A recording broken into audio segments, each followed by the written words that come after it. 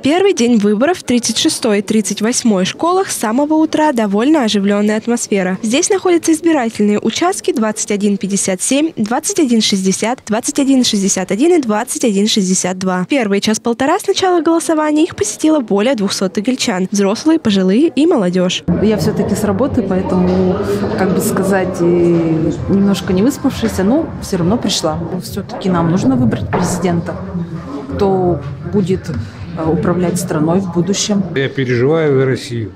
И то, что сейчас творится у нас здесь, в России, должен отвечать один человек за это все. Поэтому я и пришел голосовать. Сам процесс голосования контролируют наблюдатели. Нашей съемочной группе они сообщили, что хотя поток людей большой, но никаких нарушений не выявлено. Открылся вовремя участок избирательный 2160. Все э, участники избирательной комиссии на месте, были заранее, подготовлено все правильно, получены под роспись все бюллетени. Председатель избирательной комиссии все правильно проинформировал. Прозвучал гимн за пять минут до открытия избирательного участка. Все заняли свои рабочие места. Народу удивительно на утро очень много подошло, как будто такое ощущение приехало в метро поток народа сейчас немножко склонул, но к 10 часам, я думаю, сейчас еще будет. Все хорошо, без конфликтов, все люди радостные, с хорошим настроением идут.